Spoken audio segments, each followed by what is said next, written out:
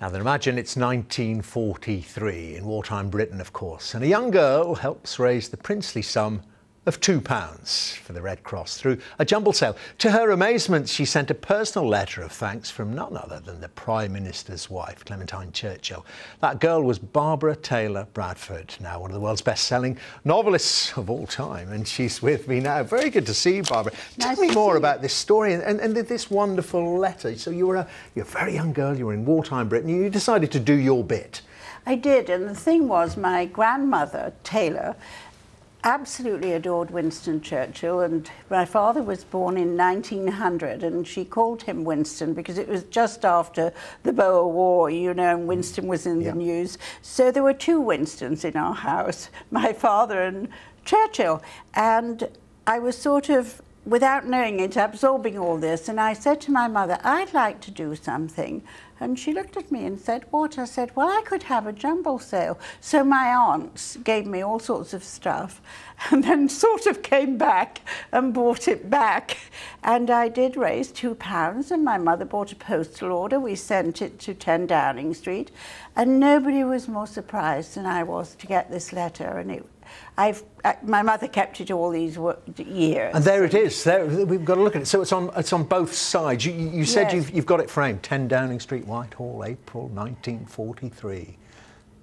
Tell, tell me, what, what does it say? Tell me what, what does It she say? says, Thank you very much for your gift, which I have just received. I am most grateful to you for the trouble you have taken to help the heroic Russians in their terrible but victorious struggle against the wicked invaders of their country.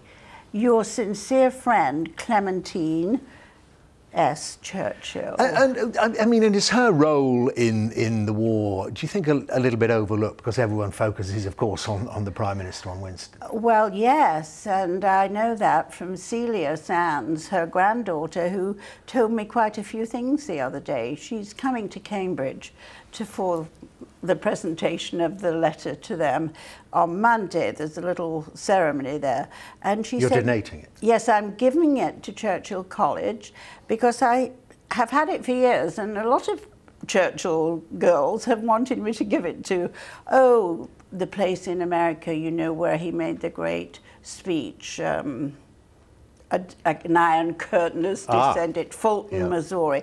And I would never give this letter because I felt I needed to know where it should really be. And of course, I suddenly did realize when I met people from Churchill College that that's where it should be in England, in, Chur- in Churchill's College, his archive.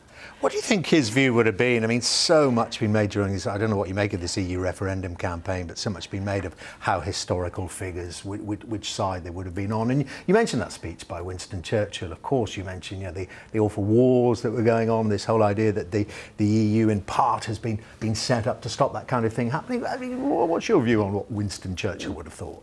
Well, I think what he would have thought now is what he thought then at the end of 1945 when the war was over. He wanted a united Europe because he wanted to prevent no more wars. He didn't want any more wars like the First World War was terrible too, and the Second World War was worse. And he thought if the countries were united, that they wouldn't start invading each other and us.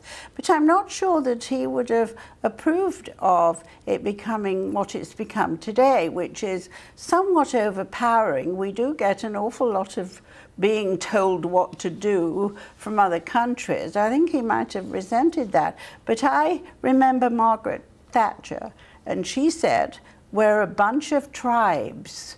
We all have different food, different language, different clothes, different culture. We're very different and we'll never be united. And that's why Margaret Thatcher didn't want to have a European certainly joined, the, certainly joined the euro anyway. I, I just got to ask you about, the, the latest, not 31st, isn't it? Isn't- Winston yes. Churchill, of course, features in, in this the, the Cavendon Luck. Yes, um, I'll tell you what I thought, Dermot, when I was doing the research about the war. I was tremendously impressed with the, the total courage and indomitability of the ordinary people. The women at the Women's Institute who made all that jam and bottled fruit and did all that, they fed the country. What about those And the kids that held jumble sales. and the kids that yes. but also those men who went to Dunkirk, civilians like you and me, and they, well, women didn't go, and went to rescue the boys from the beaches.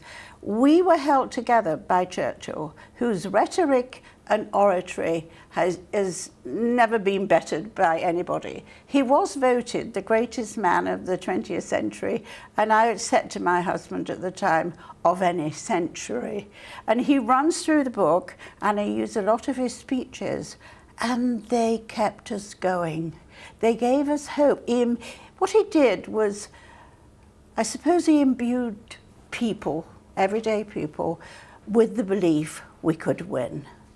And that's an extraordinary thing.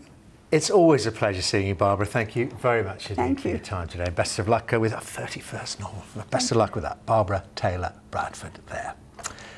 Now, uh, just uh, a quick update on uh, the breaking